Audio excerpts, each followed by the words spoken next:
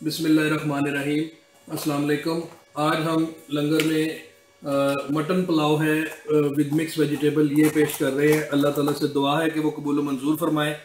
اس موقع پر میں آپ کو ایک خاص بات بتانا چاہوں گا کہ جو چاول ہیں، وہ جب اس کے بارے میں یہ حدیث ہے، نبی پاک صلی اللہ علیہ وسلم نے بتایا ہے کہ جس وقت چاول بنتے ہیں تو اس میں خوشبو نکلتی ہے اور اللہ تعالیٰ اس خوشبو سے فرشتے اکٹھے ہو جاتے ہیں، فرشتے آ جاتے ہیں، کیونکہ خوشبو فرشتوں کی غذا ہے۔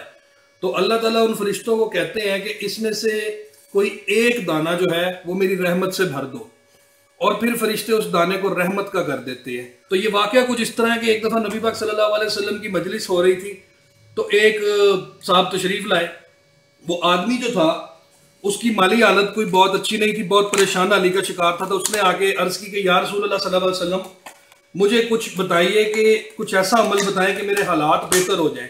میں قرضے کا شکار ہوں، میں جو بھی کاروبار کرتا ہوں، اس میں مجھے نقصان ہوتا ہے، میرے معاملات میں درستگی آ جائے، تو میری مالی مشکلات آسان ہو تو آپ صلی اللہ علیہ وسلم نے فرمایا کہ تم چاول کھایا کرو۔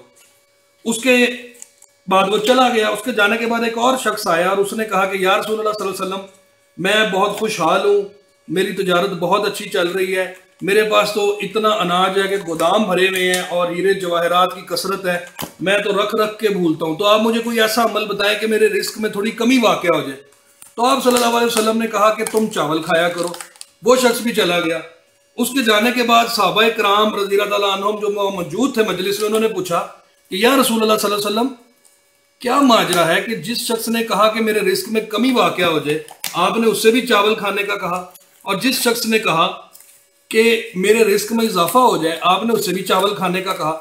تو اس کے جواب میں آپ صلی اللہ علیہ وسلم نے یہ واقعہ بتایا کہ ہر چاول جب وہ پکتے ہیں تو اللہ تعالیٰ ان میں سے فرشتوں کو حکم دیتے ہیں کہ ایک دانے کو میری رحمت سے بھر دو۔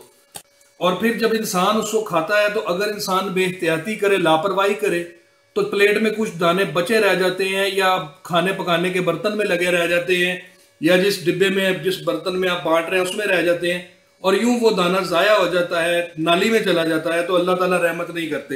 جبکہ اس کے برعکس اگر انسان احتیاط سے کھائے اور ایک ایک دانہ کھائے تو وہ تمام دانے اس کے رزق میں شامل ہو جاتے ہیں اور پھر وہ رحمت کا دانہ بھی اس کے پاس چلا جاتا ہے، جس کی وجہ سے اللہ تعالیٰ اس کے کاروبار میں، اس کی جاب میں تمام معاملات میں ترقی اور برکت عطا فرماتے ہیں۔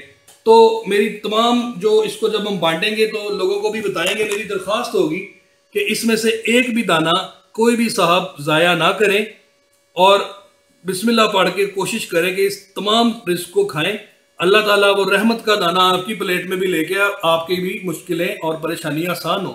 اور اس کے ساتھ جن لوگوں نے اس لنگر کے سلسلے کو جاری و ساری رکھنے کے لیے جو وہ تعاون کرتے ہیں، ان کے لیے خاص دعا کی گئی ہے، جس طرح کہ ہم ہر دفعہ کرتے ہیں، تہجد کی نماز میں بھی ان کے لیے دعا کی گئی ہے کہ ان کی مشکلات اور پریشانیاں آسان ہوں۔